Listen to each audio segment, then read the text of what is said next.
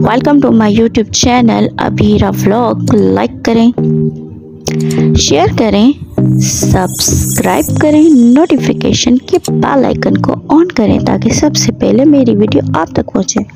अस्सलाम वालेकुम कैसे हैं आप सब लोग? उम्मीद करती हूँ आप सब लोग खैर खैरियत से होंगे और मेरी अल्लाह पाक से दुआ है कि आप लोग जहाँ रहें, खुश रहें, हँसते, मुस्कुराते रहें और खुशियों को बांटते रहें। Welcome to my YouTube channel में अभी टाइम हो रहा है चार और मेरी प्यारी सी अबिया बतूल देखो कितनी प्यारी तैयार होकर खड़ी है। अबिया बतूल आज का व्लॉग हम किस पे बनाए? मेरी जान ज़रा मुझे बताओगे? हैं? किस पे बनाए हम व्लॉग अबिया है गुड़िया रानी माशाल्लाह सबकी जान है।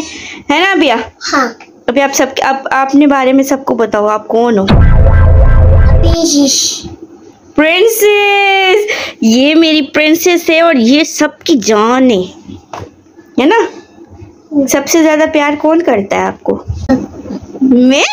मुशद्द को। और अभी हम कल पार्क गए थे मज़ा आया था आपको। आज फिर चले। झूले में चलोगी? आज ना ना मैंने ना आपके अबू बाबा को बोला है कि चलें।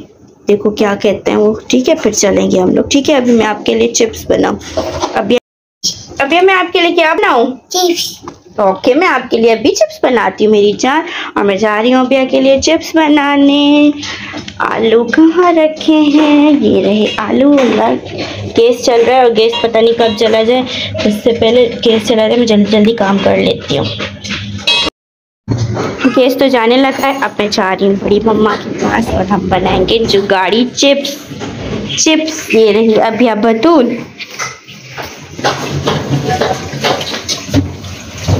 एक्शन देखो। और ये यहाँ पे हल्की सी आँच है, उसमें मैंने रखी हुई अगर नहीं हुई तो फिर बनाऊँगी इस पे।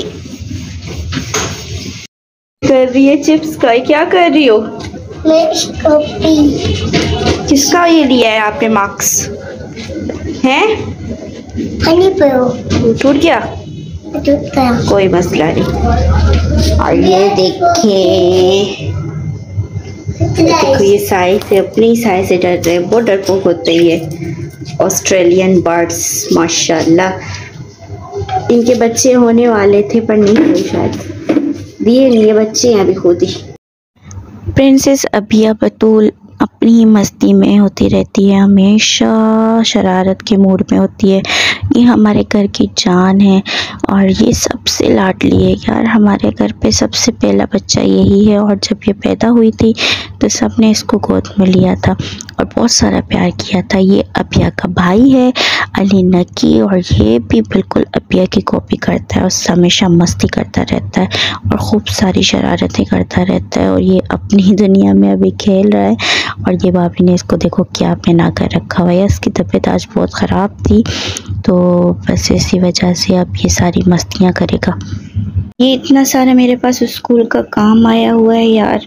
इसको देख देख कर ही मुझे चक्कर आने लग जाते हैं। देखो, हर क्लास के अलग से फोल्डर बनाए हुए हैं। फाइनल टर्म के पेपर हैं, ये नर्सरी क्लास का फोल्डर केजी क्लास का folder one two three four five इस तरीके से पूरे हमारे स्कूल के पेपर हैं इसके अंदर। तो ये सारा मुझे काम करना है।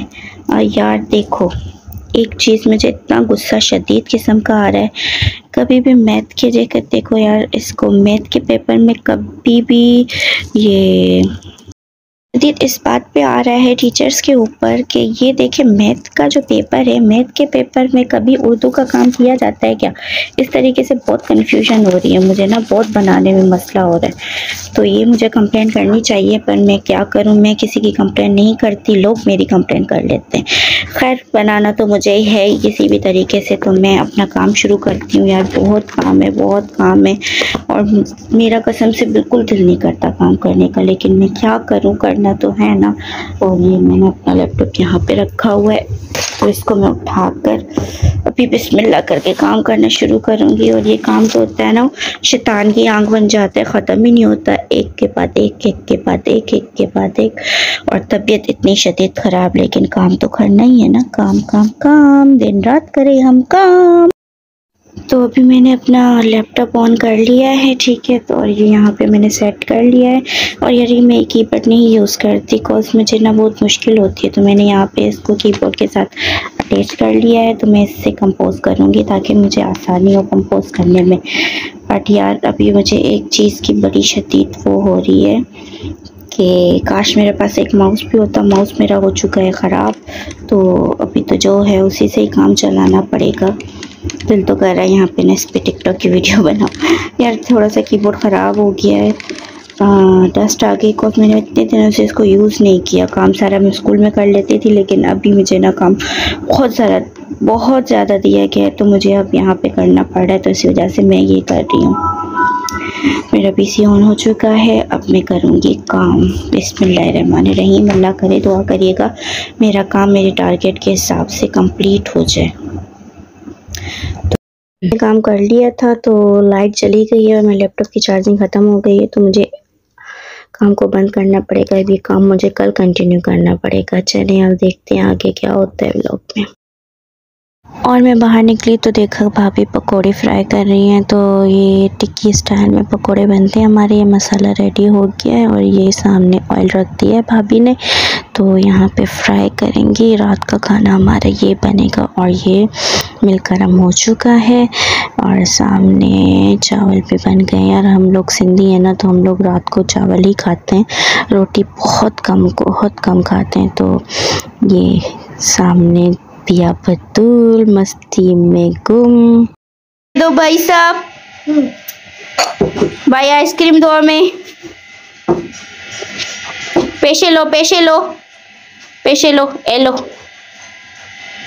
वो ये खाओ वही खाओ तो सही भैया भैया का भैया अलीना की क्या कर रहे हो भैया खाओ लड़की बिल्कुल नहीं खाती आज का व्लॉग यहाँ पे ख़त्म करते हैं। उम्मीद करती हूँ आपको मेरा व्लॉग अच्छा लगा होगा। प्लीज़ लाइक कर दें शेयर कर दें सब्सक्राइब कर दें। खुश रहें और खुशियों को बांटते रहें और दूसरों की खुशियों में खुश रहें। अल्लाह हाफिज़।